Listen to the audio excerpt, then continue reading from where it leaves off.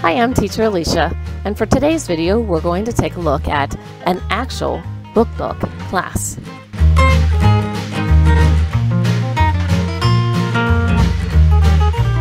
So those of you that have been hired through VIP Kid to teach BookNook, we have not been given the same opportunity as if you were hired through BookNook. If you are hired directly through BookNook, they take you through some uh, courses that will show you exactly what the classroom looks like, what you're expected to teach, um, and just help you through that whole process. First, I need to say that I am just a teacher with Book Nook. Book has not hired me to put a, out these videos to produce them. Um, I am simply doing this to help other teachers like me who started out with a lot of questions and no answers. I'm just going to go through a Book Nook classroom and show you how to log in, uh, what it looks like, go through the slides. Most all of the Book Nook slides um, and lessons are about the same. They might have some different questions, but generally the same. But however, I'm not telling you how to teach the lesson. That is totally up to you and your style and what you'd like to do. I would just like to give you an idea of what the classrooms look like. Right, so to give you a quick background, the reason why I'm able to do this is I do have some students that didn't show up for a class today.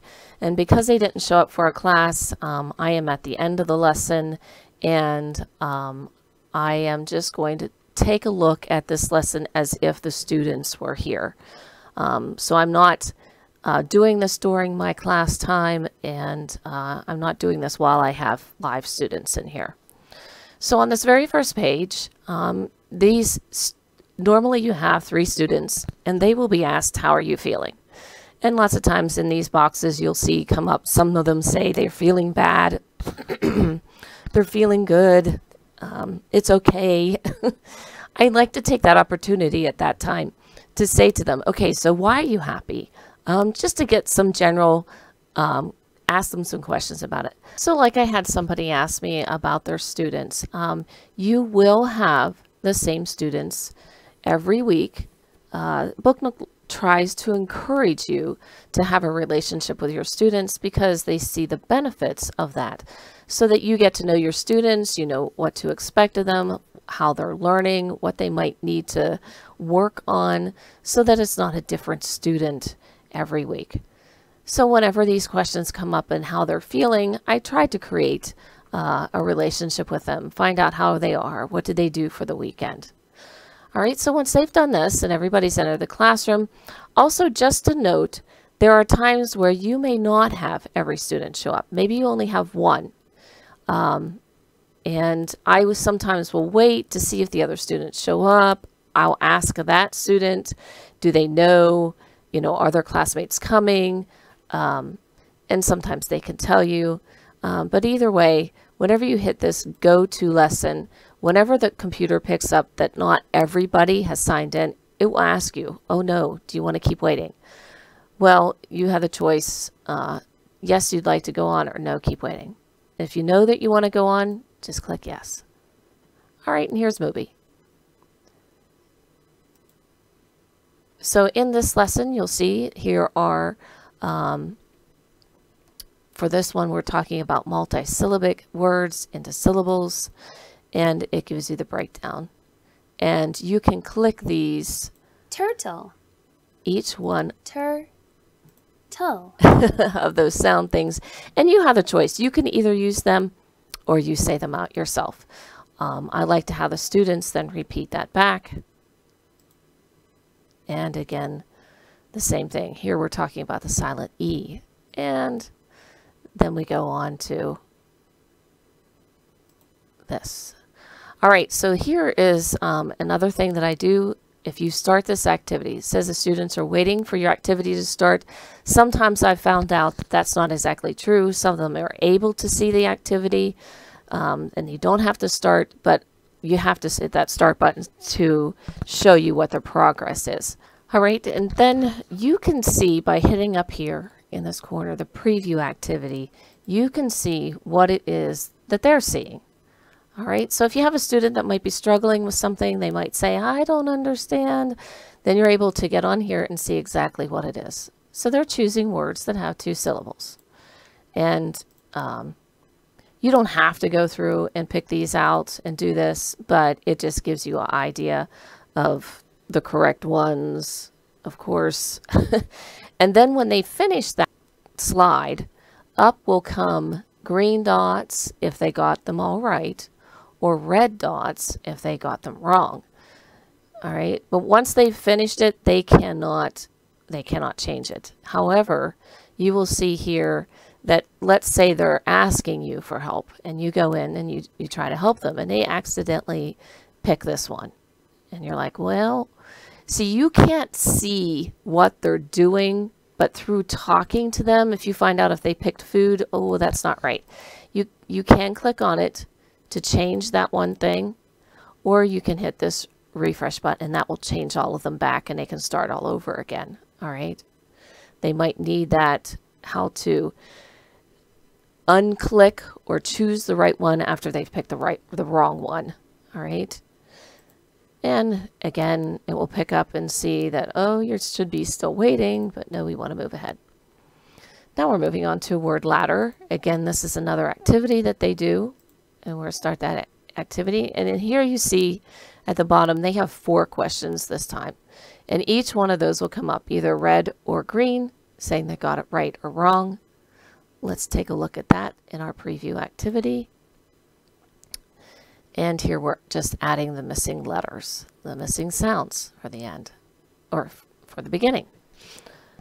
All right. And again, if a student asks you, you're just seeing what they are seeing. You're not actually seeing them do it. However, if they get stuck on something, you're able to help them with that. And of course, like I said, you don't have to do that yourself. It just gives you an idea of what they're seeing. And we'll go on to the next page. And then it's our book time. All right in this book in particular. Sometimes it'll come up with more information. It might tell you how many pages are in the book. And you realize if you open up a book and it's got 29 pages in it, um, I had a book yesterday that had 40 pages in it. You realize then you're going to have to move a little bit quicker through those things, maybe not spend as much time on the questions at the end if you're running out of time. Um, or if you know you have enough time, you can spend giving each student uh, a chance to read. At least that's what I do. So here with these bubbles, these orange bubbles, these are questions you will ask your question, your students, I'm sorry, ask your students, and you work through the book.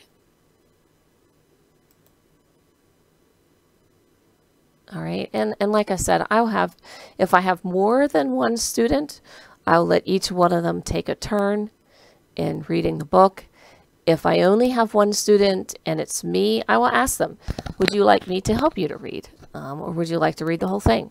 I give them that chance. Um, as they go through it, one thing I don't like, um, as with VIP Kid, you are able to underline words that they're missing uh, or mispronouncing um, and go back and look at them after they're finished reading.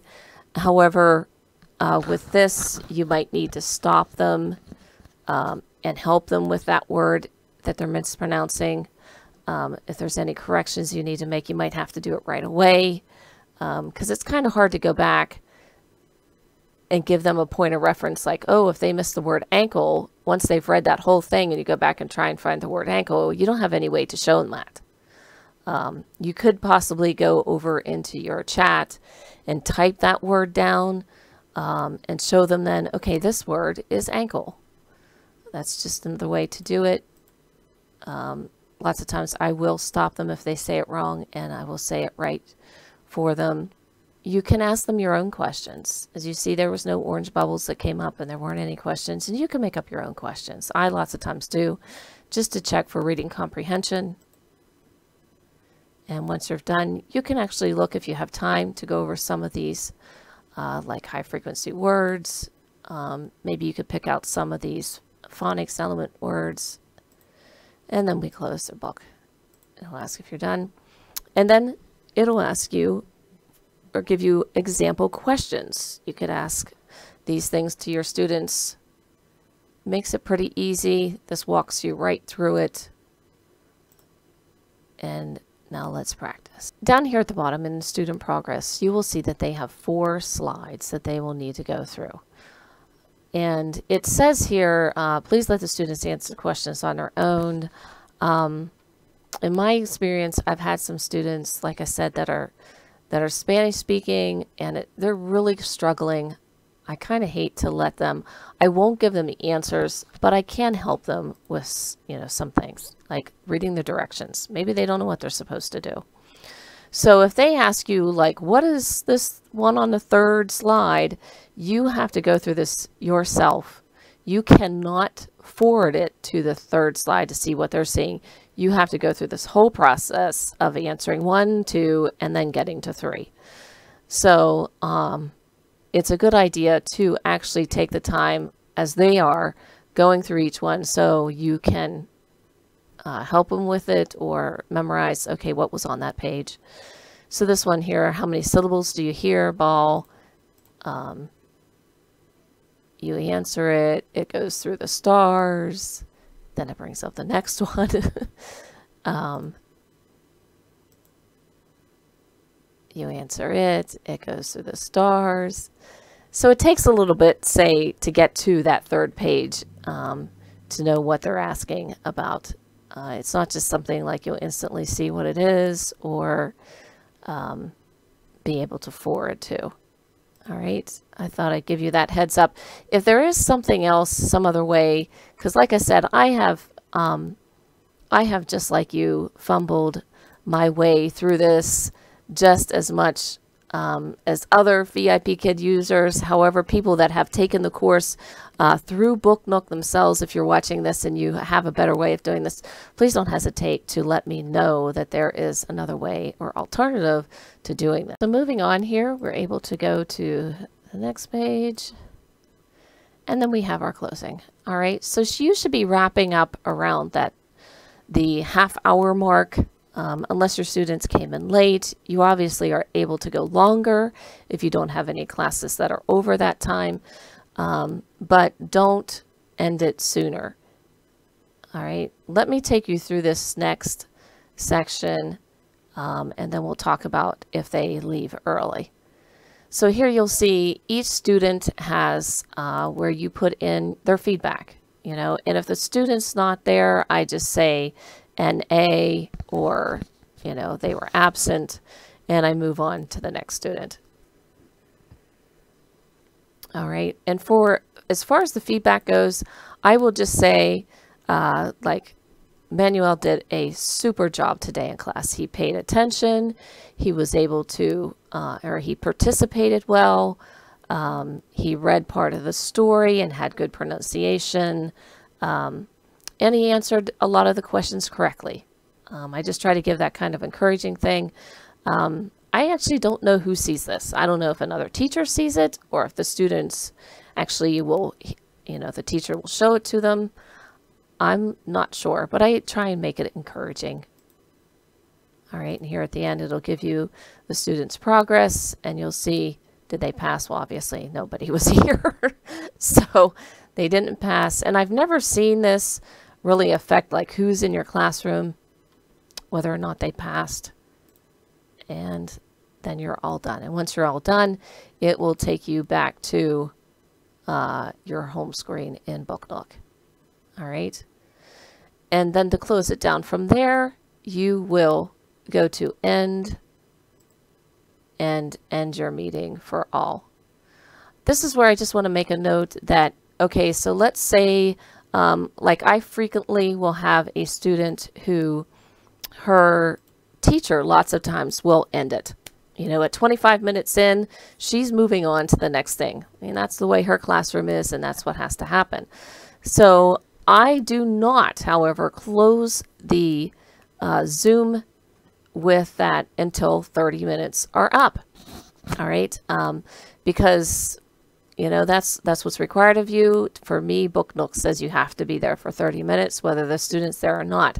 So what I will do, let's jump back to my shared screen and um, over here, I let this up. So if they leave, they say goodbye, you say goodbye, and um, they're gone, I will leave Zoom up until you are 30 minutes in.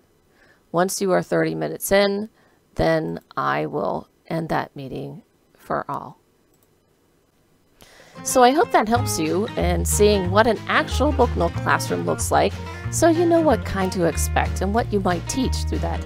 Not every lesson is the same, but it is the same format. It is the same setup.